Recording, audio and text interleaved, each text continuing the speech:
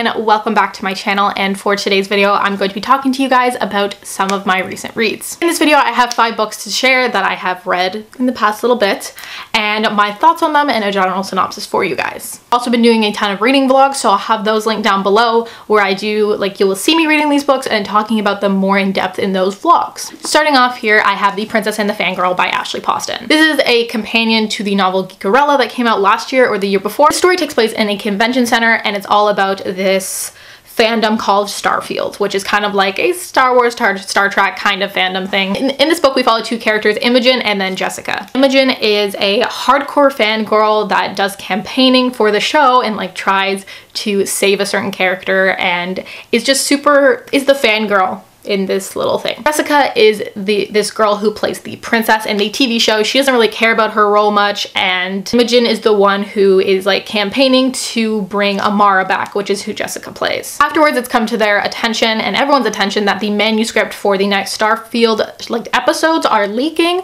So Jessica has to deal with this and but she has other priorities like her panels and all that stuff that she has to attend at this convention center. Imogen and her meet up. They look very similar, so Imogen takes her place and they kind of swap lives. It's that whole swapping lives kind of thing where Imogen becomes a famous person for a bit and Jessica gets a taste of what a kind of like normal life looks like. This was a really fun and enjoyable book. I still prefer Geekerella as opposed to this one. I just think Geekerella is a stronger read. And to the first third of this book on audiobook and I really did not like the audiobook so I would not recommend it because that this made that made this extremely boring to me. So after I picked it up physically is when I really started to enjoy the book and appreciate it more. There is also a female-female romance in here which I feel like not many people mention in their reviews so that was really nice to see as well. Overall I think this was an enjoyable read. It was nothing like too extraordinary or not anything too new but I do think this had some good messages about conventions and a bit about sexual harassment in relation to celebrities and how that happens at conventions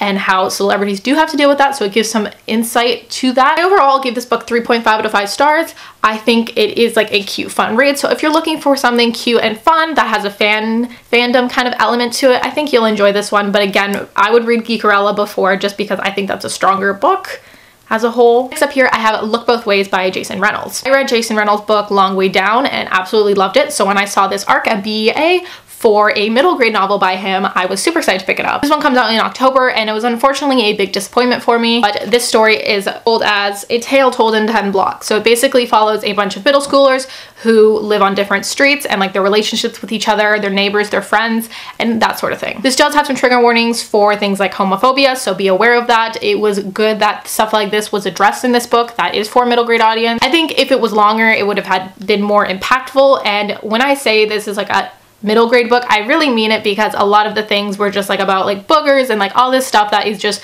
really juvenile, which I get the target target audience. So just thought I mentioned that. Overall, this was like not fleshed out enough and it just didn't give us a chance to, like it didn't give me a chance to connect with any of the characters or the plot or the story and there wasn't like a, there was kind of a message actually at the end, but it wasn't like a big overall like wham like book. Like it wasn't like, you know, damn, I just have read a lot of middle grade books that are that were more impactful than this one and that I just think are better to recommend. But this one I still ended up giving a 2.5 out of 5 stars just because of the writing was still decent and I could appreciate the storyline and some of the messages in this book. Next one is one that you will not be getting a super in-depth synopsis from me because this is not really my forte and I learned this one for school. This one is Oedipus Rex. This is a play by Sophocles, Sophocles, I am probably saying that wrong. Any of you have taken psychology courses or just know about Freud.